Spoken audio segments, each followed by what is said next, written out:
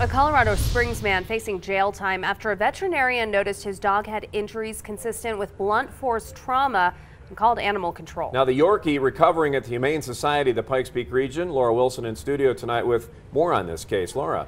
Well, the Humane Society says Tiffany, the Yorkie, is doing well given the circumstances. Unfortunately, these types of cases are not uncommon in El Paso County. 11 year old Tiffany is finally in good hands. She's getting tired.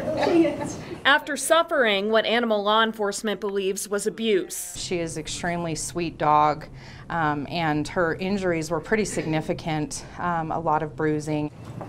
A radiograph revealed she also suffered a broken pelvis. The suspect, Michael Barron, who authorities say had, quote, caretaking responsibilities, is facing one count of animal cruelty. It's a misdemeanor charge for now. An animal cruelty charge becomes uh, a felony if it's an aggravated, uh, if there's aggravating circumstances um, surrounding the case, or if it's a second or subsequent offense. Oh, Tiffany, I love you. Tiffany's new caretaker, we're kind of office mates though, says the senior sweetheart is expected to make a full recovery. What she needs is time and rest and restricted activity and pain management um, to monitor um, how she's doing. But she won't be the last abused dog dog to come into their care this year. Our officers do investigate thousands of cases of animal cruelty throughout the year.